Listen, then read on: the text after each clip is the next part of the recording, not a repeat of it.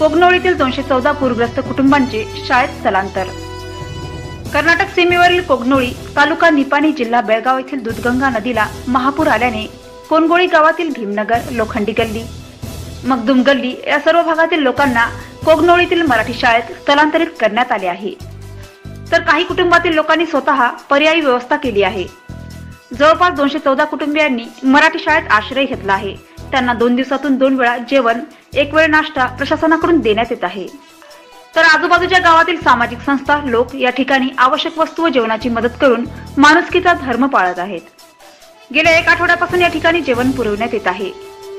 पूर परिस्थिती जैसे थे आहे. या पुरातील पाण्यामुळे साथीचे आजार होऊ नये म्हणून बेनाडी प्राथमिक आरोग्य केंद्रातील अधिकारी Babasaheb Pimple Rajshri Naik S Jennifer madam व कोनगोळीतील आशा कार्यकर्त्या ह्या सर्व पूरग्रस्तांची वैद्यकीय तपासणी करीत आहेत. या पुरामुळे आतापर्यंत अनेक लोकांची घरे पडली आहेत. तर या संपूर्ण प्रकारावर बेळगाव जिल्हा परिषदेचे माजी उपाध्यक्ष पंकज पाटील हे वेळोवेळी भेट देऊन पीडितांची विचारपूस करत आहेत. तर कोणगोळी ग्रामपंचायत पीडीओ कांबळे सरपंच उपसरपंच व तलाठी ऑफिसमधील अधिकारी योग्य ती खबरदारी घेत आहेत. राहुल मिस्त्री बेळगाव.